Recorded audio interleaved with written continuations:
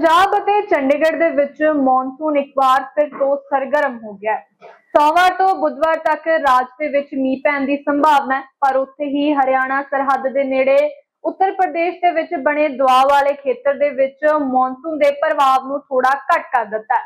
ਇਹੀ ਕਾਰਨ ਹੈ ਕਿ ਮੌਸਮ ਵਿਭਾਗ ਦੇ ਵੱਲੋਂ ਹਾਲ ਹੀ ਦੇ ਵਿੱਚ ਜਾਰੀ ਕੀਤਾ ਗਿਆ ਯੈਲੋ ਅਲਰਟ ਹੁਣ ਨਹੀਂ ਰਿਹਾ ਹੈ।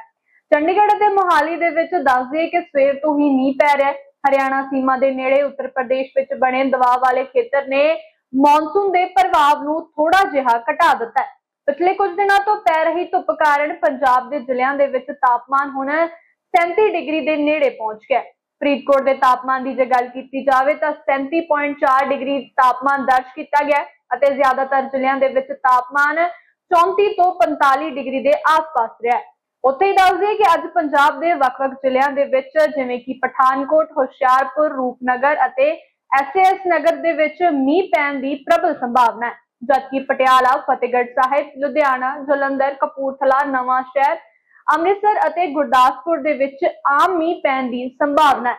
ਜਦਕਿ 3 ਸਤੰਬਰ ਤੱਕ ਮੰਗਲਵਾਰ ਨੂੰ ਜ਼ਿਆਦਾਤਰ ਜ਼ਿਲ੍ਹਿਆਂ ਦੇ ਵਿੱਚ ਮੀਂਹ ਪੈਣ ਦੀ ਸੰਭਾਵਨਾ ਜਤਾਈ ਜਾ ਰਹੀ ਹੈ।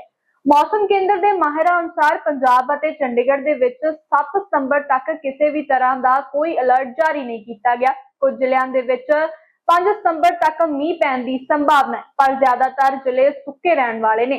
ਜਿਸ ਕਾਰਨ ਤਾਪਮਾਨ ਦੇ ਵਿੱਚ ਮਾਮੂਲੀ ਬਦਲਾਅ ਵੇਖਣ ਨੂੰ ਮਿਲੇਗਾ।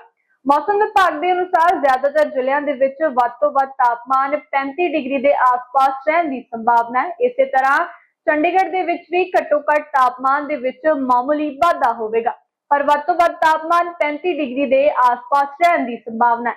ਦੱਸਦੇ ਕਿ ਮੌਸਮ ਵਿਭਾਗ ਦੇ ਵੱਲੋਂ ਭਾਵੇਂ ਕੋਈ ਅਲਰਟ ਜਾਰੀ ਨਹੀਂ ਕੀਤਾ ਗਿਆ, ਪਰ ਫਿਰ ਵੀ ਮੀਂਹ ਪੈਣ ਦੀ ਸੰਭਾਵਨਾ ਮੌਸਮ ਵਿਭਾਗ ਦੇ ਵੱਲੋਂ ਜਤਾਈ ਜਾ ਰਹੀ ਹੈ। ਉੱਥੇ ਹੀ ਜੇ ਮੌਸਮ ਦੀ ਗੱਲ ਕੀਤੀ ਜਾਵੇ ਤਾਂ ਸਵੇਰ ਤੋਂ ਹੀ ਪੰਜਾਬ ਦੇ ਕਈ ਇਲਾਕਿਆਂ ਦੇ ਵਿੱਚ ਮੁਹਾਲੀ ਤੇ ਚੰਡੀਗੜ੍ਹ ਦੇ ਵਿੱਚ ਮੀਂਹ ਜਿਹੜਾ ਉਹ ਪੈ ਰਿਹਾ ਤੇ ਇਸ ਦੇ ਨਾਲ ਪੰਜਾਬ ਦੇ ਹੋਰ ਕਈ ਇਲਾਕਿਆਂ ਦੇ ਵਿੱਚ ਵੀ ਮੌਸਮ ਇਸ ਵਕਤ ਸੁਹਾਵਣਾ ਬਣਿਆ ਹੋਇਆ ਤੇ ਕਦੋਂ ਵੀ ਮੀਂਹ ਪੈ ਸਕਦਾ ਹੈ। ਹੋਰ ਅਪਡੇਟਸ ਲਈ ਵੇਖਦੇ ਰਹੋ ਚੇਬਡੀ ਟੀਵੀ।